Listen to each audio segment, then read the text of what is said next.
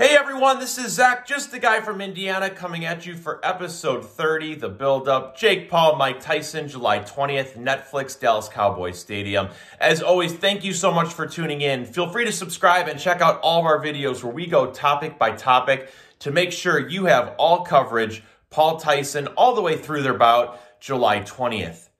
I cannot think of a better way to celebrate episode 30 than to be on the heels of the Ryan Garcia win over Devin Haney last night in a majority decision. And last night, he knocked down Devin Haney three times. And with a little bit of humor, Devin Haney continuously had called Ryan Garcia a one trick pony, meaning he only had a left hook. Well, last night, that left hook knocked down Devin Haney. And so one trick pony it may be, but kudos to Ryan Garcia because that one trick is continuing to work. And so a little bit with Ryan Garcia. He is a 25 year old kid with tons of internet fame, money, would have had a title last night if he didn't miss weight. Remember, he missed weight, which means he did not get a title uh, for that fight last night. It was no longer on the line after he had missed the weight. Ryan is now 24 and 1. As we know, uh, Ryan is from Mexican heritage, but he was born here in the United States. And here's why this is important. Where do we go from here with Ryan Garcia?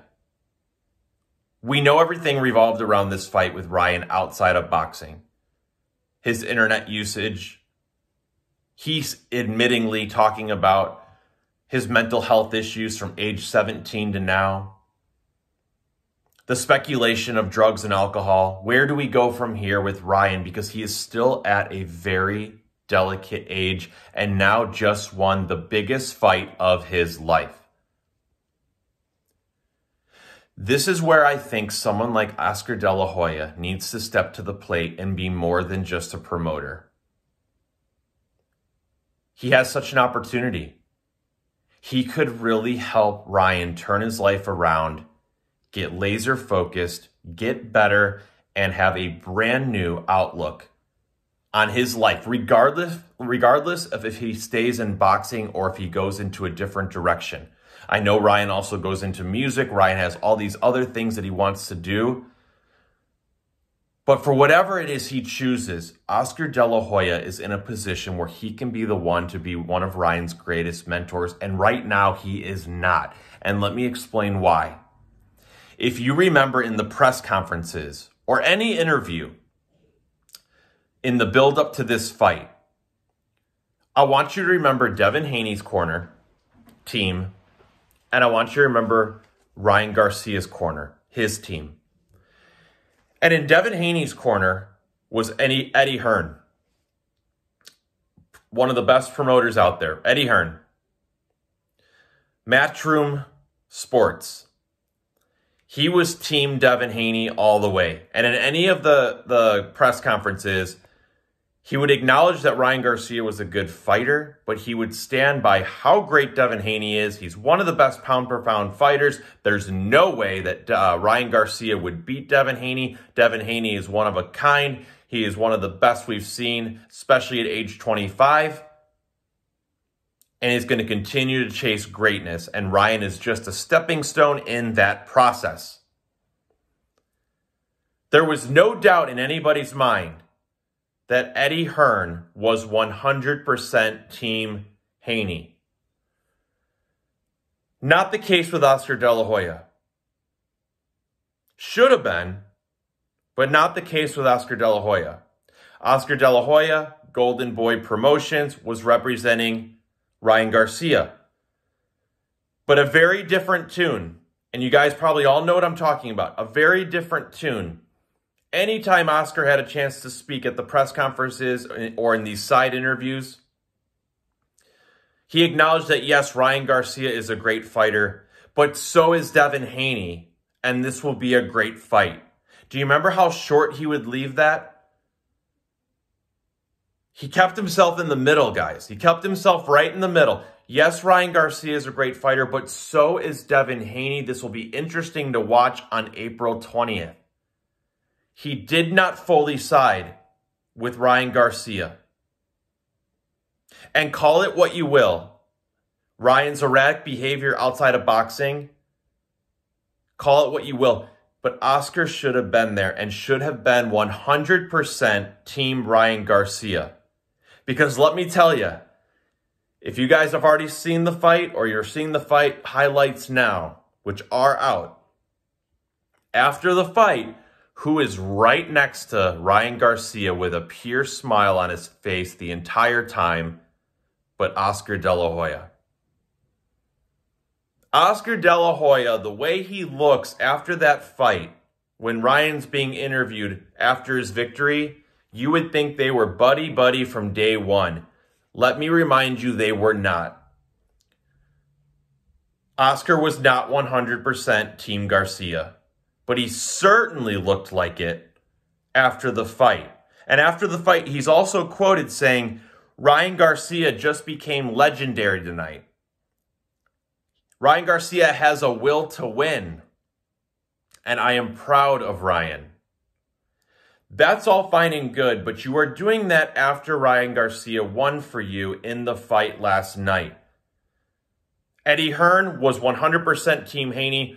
Oscar De La Hoya was neutral. He was not 100% Team Garcia until last night after seeing that Ryan won.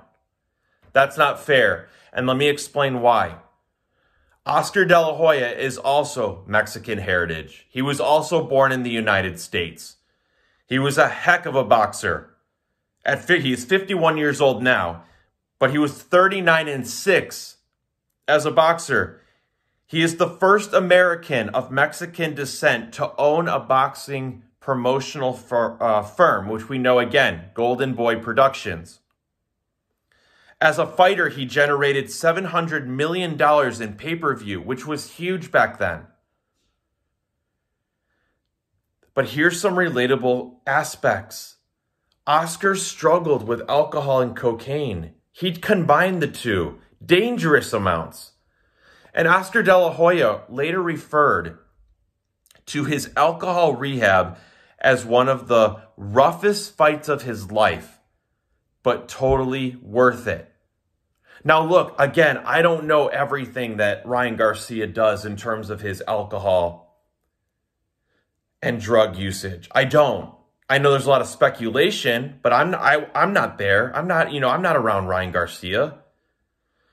But there's certainly things that hint towards addiction of some sort, whether it's addiction to the internet, his fame, his money, his power, possibly alcohol, drugs. But if there is something there, who could be the better, who could be a better role model than Oscar De La Hoya? It's almost the same path in many ways. Great boxing careers, Mexican descent, born in the U.S., all the, all the money, all the fame. The one person who could have the most impact on Ryan Garcia's life now moving forward is Oscar De La Hoya. And here's what I hope doesn't happen. I hope that Oscar does not just say, okay, I was there, Ryan won under my production company. I am going to just continue to move on to the next fighters until it's time for Ryan again. And then guess what? I'm going to be buddy buddy with him again and make sure that he still fights under me for Golden Boy Productions. That's the easy way out. Oscar has a ton of money. That is the easy way out. Instead, he has an opportunity to make sure that Ryan is in good hands as a 25 year old kid with all of this, very comparable to how Oscar was.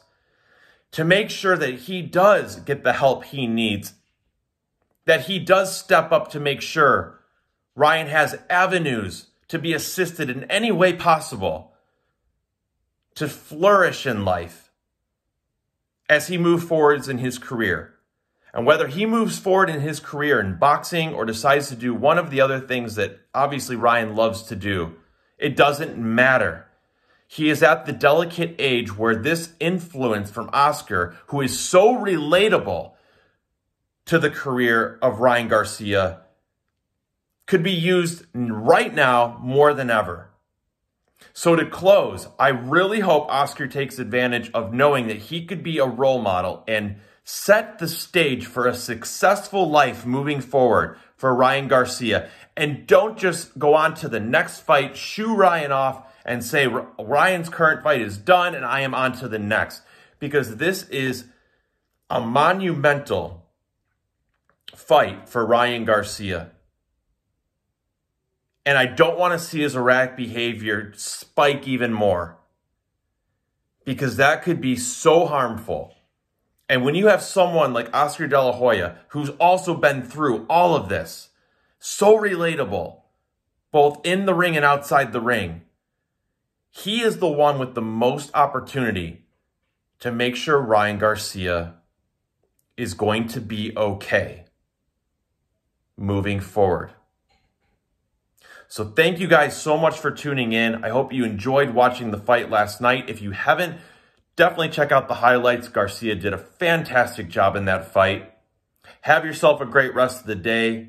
Thank you for celebrating episode 30 with me, and we'll be back with episode 31 tomorrow. Take care, guys. Love you as always.